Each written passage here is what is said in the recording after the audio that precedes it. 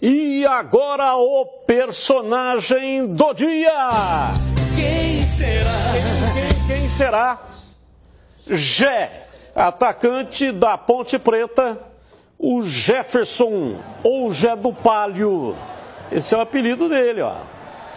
O cara sofreu esse pênalti, marcou um gol, que é esse. Pressão na saída de bola, gira e bate. Quando ele gira e bate, já pode sair para comemorar. Né? Ele pega muito bem na bola. Pega forte, né? Bateu de peito de pé, né? A hora que o Alan, a hora que o Alan vai, nem, tinha, nem deu tempo dele deitar. A bola já tinha passado porque a velocidade é muito grande. Muito forte, né, Tigrão? Não É. tem jeito, tá em cima ali, na marca do pênalti. E aquela da cabeçada que, que volta pro, pro Gé e ele. Aliás, cabeçada não, chute de fora da área, né?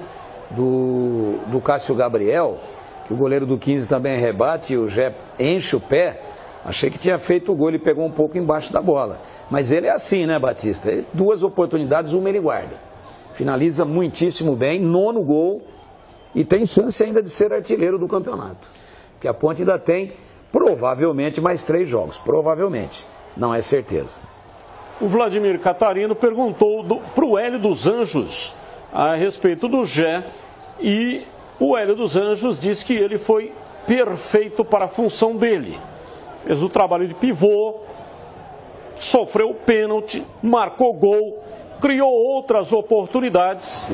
Teve esse lance que o Tigrão falou, mas teve uma cabeçada também, que exigiu uma grande defesa do goleiro do 15. Enfim, realmente foi uma atuação, se não perfeita, mas pelo menos quase que perfeita. Grande partida.